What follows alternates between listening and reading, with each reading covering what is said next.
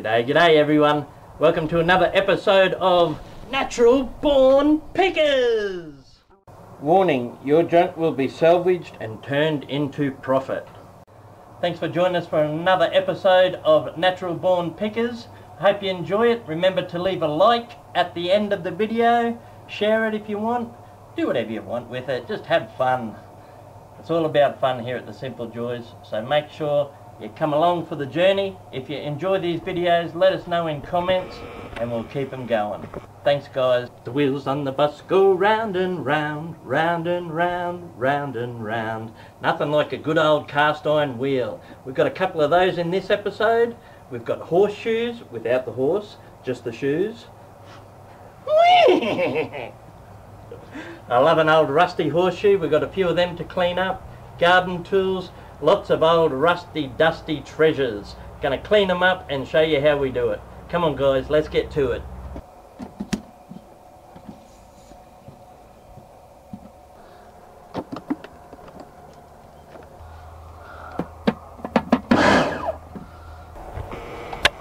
Say hello to my little friend.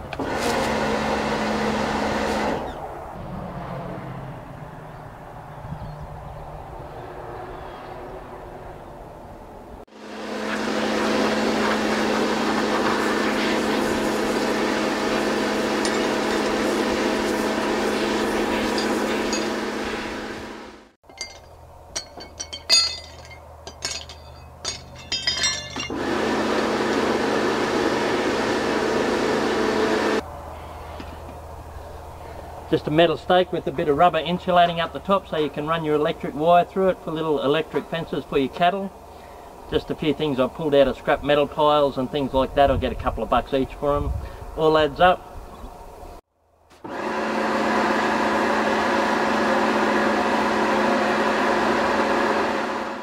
These are some of my favourite things, just rusty old wheels. I love the cast iron wheels. Especially this one, look at the beautiful patterns in it. Like a four-leaf clover.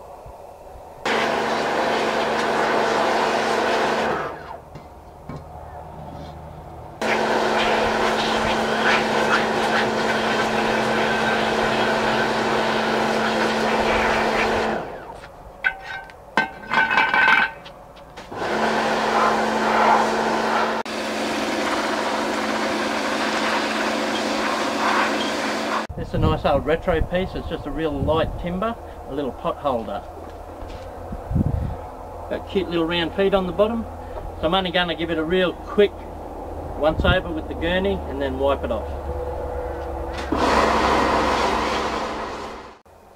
Looks like it probably came from the late 50s. Reminds me of that era.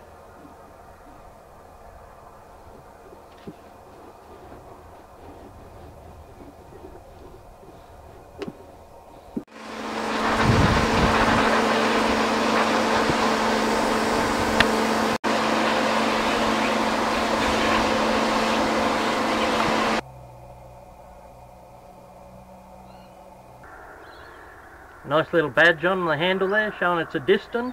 That's a really old quality brand. There were a lot of hand saws and tools, so it's a good one to have for collectors.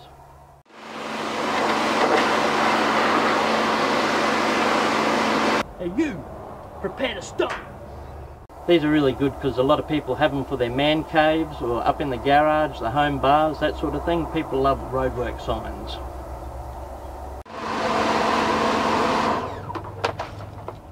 A nice piece, just an old pot plant holder made from wrought iron. And it's just turned around, just a cute little piece.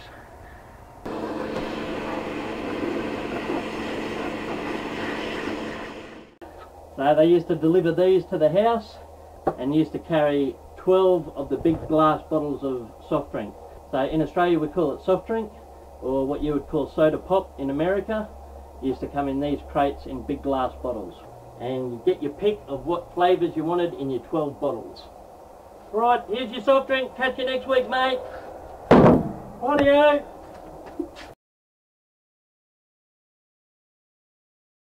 Rusty gold! Dug out some of my old tools I've been collecting off and on over the years. Uh, mainly shovels, but there's a few things in there like picks, crowbars, all rusty, dusty stuff that I'm just going to give a quick gerni, clean it up. Check this out.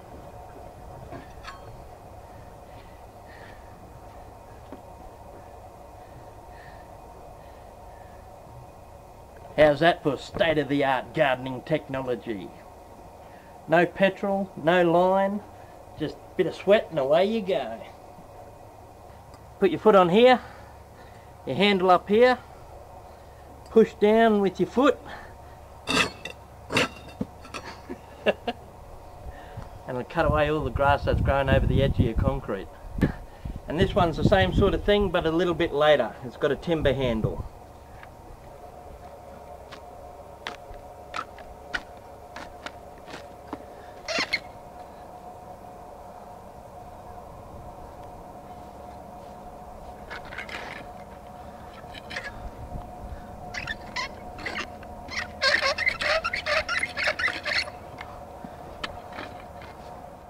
Alright guys, what do we reckon this one is? It's homemade, looks like it's been welded up at home, just a do-it-yourself job. And I reckon it probably is a prickle lifter or a bindi puller. We'll find a prickle and see if we can get it to work.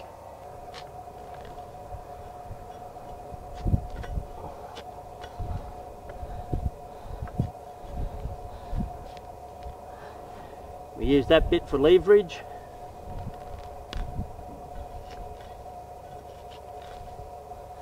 There we go. Now in amongst these rusty old tools I've got a really cool item. I'm not 100% sure what you call it or the era. I think it was World War II. Now as far as I know, um, into the sand or the ground they would put that end, wind it in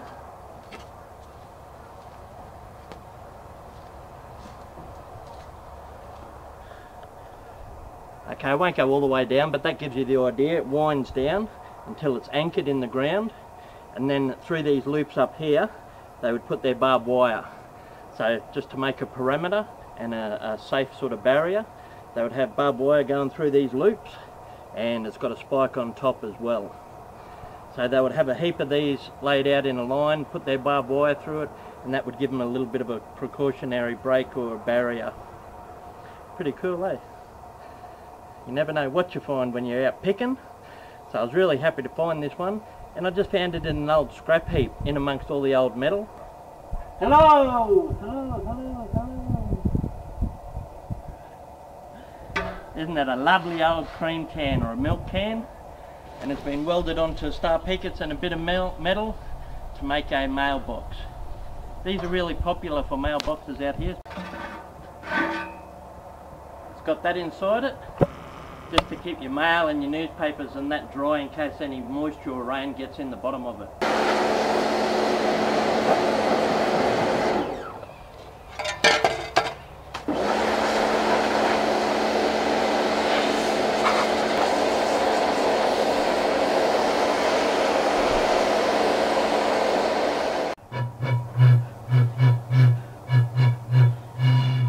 Look at this old beer bottle. It's a 4X beer bottle from the 70s and it's still got the old emblem of the 4X man on it.